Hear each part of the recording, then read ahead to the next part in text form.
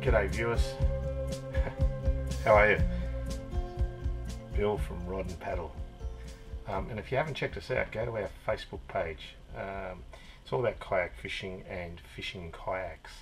So, yes, it's an Australian based page, um, but we put stuff up there from all over Australia and all over the world. And uh, as I said, it's it's all about fishing kayaks and kayak fishing. Anyway, today, what I want to talk to you about, I want to talk to you about that little fella there. So that little lure there, soft plastic, in the last three days, so a total of about 10 hours of fishing, has caught over 120 redfin perch redfin perch, if you don't know, they're English perch or European perch. Um, so they're essentially the same fish that you find in North America, which is called the yellow perch, but their their fins are a reddish tinge rather than a yellowish tinge, uh, but they're the same family. Um, so those 120 fish, or in excess of 120 fish, um, were all over um, 23, 25 centimetres. So um, not huge fish. There's a few in the mid 30s, um, probably 15, 20, uh, but most were between 25 and uh, low 30s. So what's so important about this lure? Well, that's what did all the damage. Why this lure? Because I noticed fairly early on that um, some of the perch were regurgitating, um, regurgitating um, baby redfin. And if you look at that one, it's a pearl colour with red head and a touch of red in the belly. And that was the key. I tried lots of other lures, all all of which worked one degree or another but this was the killer. Pretty much a bite per cast. So, how do you do that? Well, that's what I'm going to show you. And this is not uh, un unusual, I do this a lot anyway. So, um, typically uh, I paint my jig heads one of three colours, black, white or red. Um, red, A, because of the perch colouring, but B, uh, more importantly, um, and it'll work on many other fish, bream, bass, estuary perch, and so on, um, is that the actually what I might do is angle this down a bit like that. So what I'm doing here is the, and I'll give us a bit of light too, that might help, is that when you uh, paint the the jig head, yes, it looks, it gives it that red color. So if a fish fish are in a true hunting mode, um, it's thought that if they see the gill rakers of another fish, they might think that that fish is in a little bit of trouble. Gill rakers come up as a red color. Um, and it, it, helps with a strike rate. Um, a lot of times when you're fishing, you can also put a red bead. Now you notice here that I'm painting the hook keeper and that's actually really important particularly if you're using a lure like I was using the pearl color and I was painting the undercolor of the head as well okay? That's all I do. This is just an automotive enamel paint so it's really really simple stuff. It takes only a few minutes to dry and then I just hang the lure up to dry. So that's simple. Uh, and if you look at the lure you can see there that um, you can see the the red hook keeper through it um, and it does it does seem to help with the hookup rate. Um, anyway high quality hook so cheaper quality ones you don't get the same hookup rate. Um, but yeah high quality one this is a TT lures jig head. Um, and they're the way to go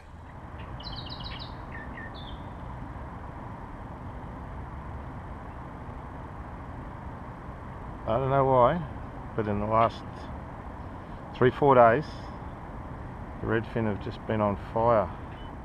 And this morning, I've hardly moved, probably in one spot. I'll show you something in a minute.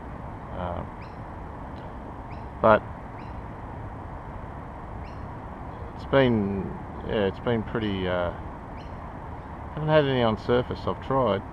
But haven't caught any on surface, but there's uh, been pretty good so far this morning. None of them are huge, but this morning there's been a couple of reasonable ones. They've definitely gone off the bite slightly. I think I've just caught too many here. So what we might do is we might move out here. There's a bit more sunlight.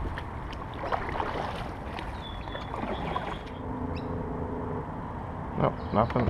Alright. So have a look. Know how well you can see this.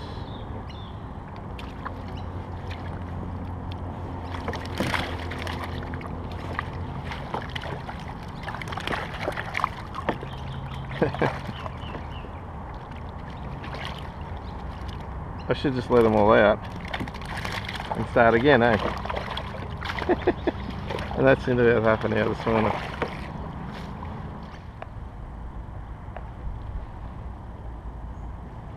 change locations.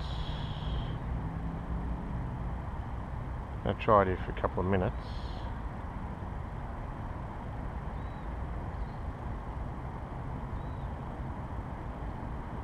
I just had a couple of hits so.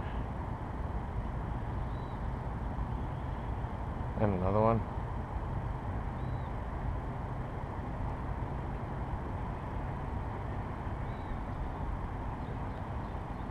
Look at them.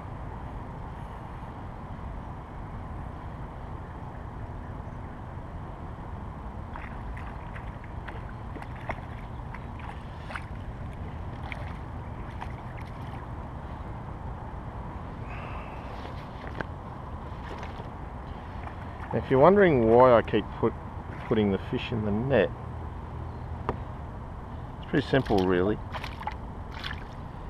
Sometimes these guys, when you release them back, they'll go and shut the school down.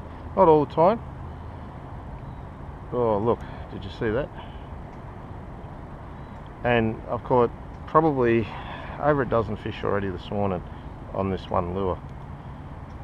And it's already worn the red paint off the head of it. So what's all this mean? Um, well, on the one hand, uh, people talk about redfin and perch as being a very easy fish to catch. And I know here in Australia, uh, you often hear things like if you want to teach your children how to fish, go fish for redfin. Um, and the reality is, is when redfin are on the bite, they are fairly easy to catch um, compared to, uh, say, a native fish, for example. Um, so they can be quite easy to catch uh, and they'll go for almost any lure. But what this, what I'm talking about here, is not that situation. What I'm talking about here is how do you improve your catch rate of redfin. Um, so, two simple things that I use. Wherever possible, I will match the hatch, same as with any other fish. Um, and then the second thing is that if they are being finicky, right, or you do notice that the bite shuts down very, very quickly after you've released one or two of them, then I will put them in a net or I will release them somewhere else. So somewhere else in the same water system. So that that may just mean uh, a short paddle and throwing them in uh, yeah, away from where their school was, right? Uh, but uh, um, often I will use the net. If you're in a competition, the net is super, super handy, whether it's for redfin, bream, bass, any of that sort of stuff. and I'll put a link up at the end of this video for the net. Um, it's available here in Australia and America and so on. It's uh, it's a it's a great piece of kit, or you can make your own net. Or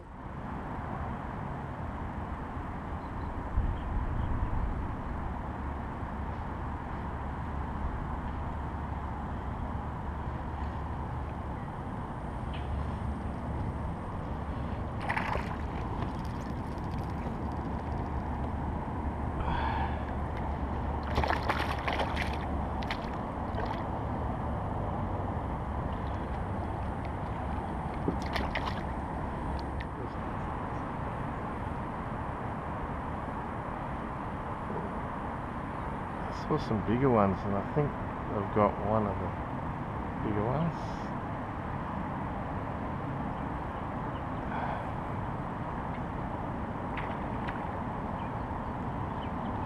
It's in the glare of the sun so I can't make it out. Uh, it's looking alright. Come on, line. It's only four pound line, so.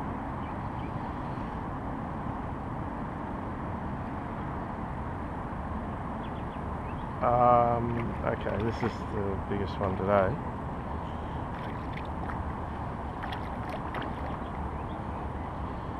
Get him over the over the edge of the net so he can't get away. He'll be close to the biggest one today. Stop it. You shake one more time, it'll get the hook in my finger.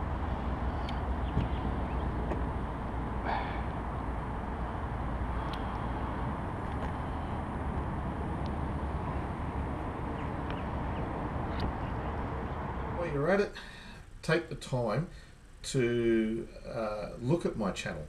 Um, I've got five playlist sections on the channel, so when you go to the intro page, there's five playlist sections. I've got hundreds and hundreds and hundreds of videos that I've loaded onto the channel. Not just my videos, but from all over the world, right? And and and they're videos that I've looked at and I've gone, yep, that's a that's a great video about kayak fishing or fishing kayaks. So that's what the videos are about, kayak fishing or fishing kayaks. So please have a look at the rest of my channel. If you like this video, please hit the, the, the like button, um, subscribe to see any more videos that are coming up, get notifications on them. I put a lot of work into my videos, definitely not a professional videographer. Um, I'm in it for the fishing, not I, I make no money off my videos. So please, every little like counts for me.